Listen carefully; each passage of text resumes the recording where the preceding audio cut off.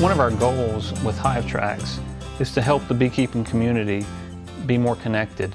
Now, a HiveTracks group is simply a mechanism for a group of beekeepers to share information with one another.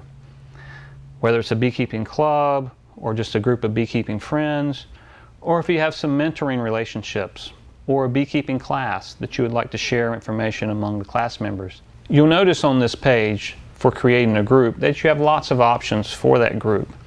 You can name it, you give a URL, you can give your location, you can choose an icon or a photo that describes your group as well. You can also allow your group to be found by other HiveTracks users and you can change the mechanism for how people join.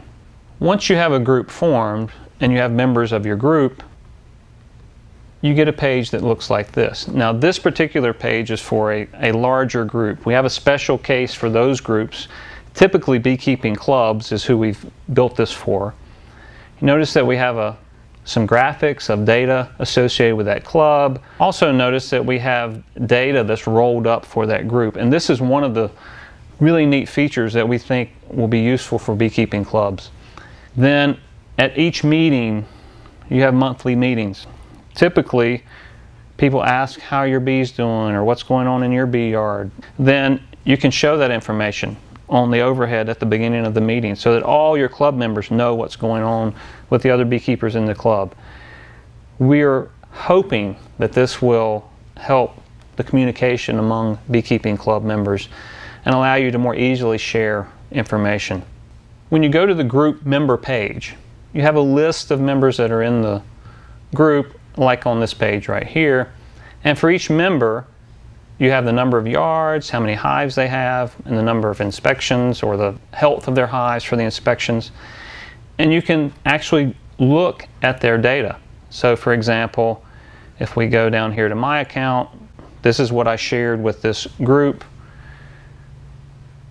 This shows a list of all of my yards and my hives the current health status. Again, the same coloring scheme that we use with HiveTracks flows over here to this page. Anybody in the group now can look at the inspections for this particular hive.